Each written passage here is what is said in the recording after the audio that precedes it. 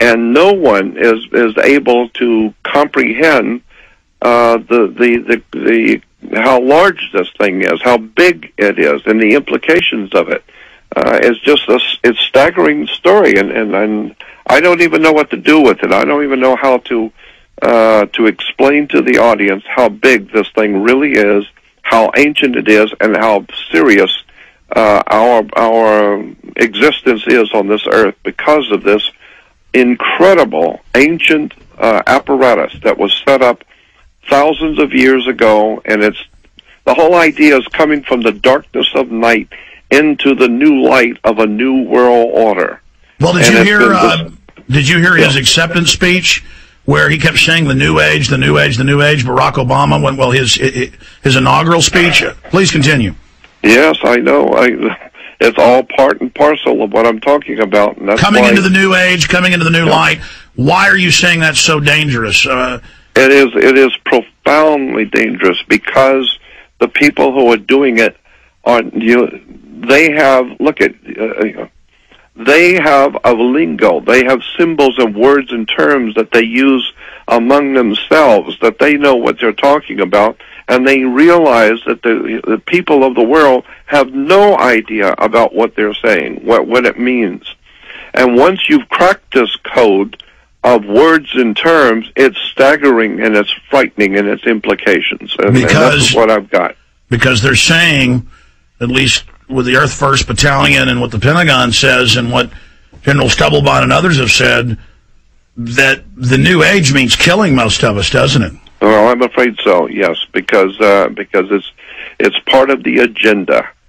And, and the um, new man, the cybernetic merger of humans right. into machines and the, and the extermination of the majority of us. That's right, because they are dumbing down the humans while making the machines uh, and the computers uh, able to think for themselves. And so in America, we like to brag that we've got computers that can think for themselves. And I say, thank God, because the people can't. So and the new age one facet, I know I oversimplified all, but one fashion of the new age is the new man, the new creation. That's right. Uh, and the old man goes bye bye.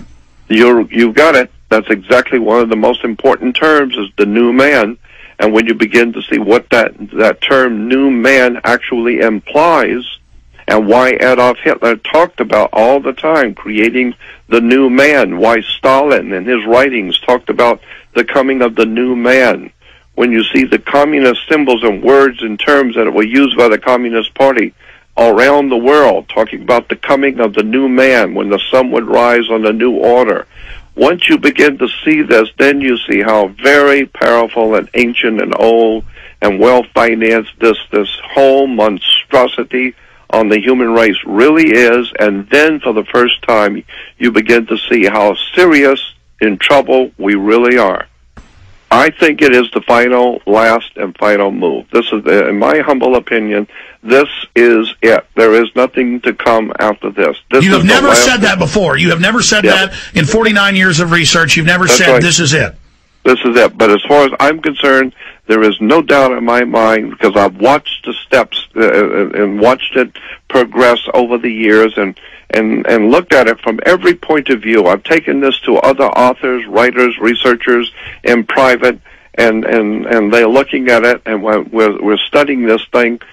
Up until now, I have always believed that there was going to be some way that people would wake up and find out and be able to thwart this thing. But now, I am totally convinced that the last and final stroke has been put into place now, and now it's a survival of the human race now. Now it is cosmic in proportion. Because once the elite people, engage all these thousands of years of programming, conditioning, and preparation, this isn't even a machine they can turn off, is it? That's right, exactly. It's not something that they have control over anymore. Now it is cosmic in proportion.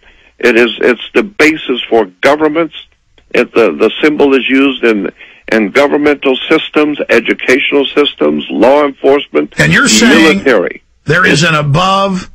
Let's just get down to bottom lines. Christians can call it, you know, spiritual entities, whatever. The elite believe this in their own writings. There is an above human government that's been directing things. Oh, you can bet on that. There is no doubt in my mind. And that's why so many people have asked and talked about my religious faith as, as to whether I believe in God. I have no problem at all believing in God. I have no problem believing in the divine because I have studied the occult world for many, many years. I know what these uh, symbols and religions, where they've come from, how they were co opted, put into use by the elite uh, powers of the world.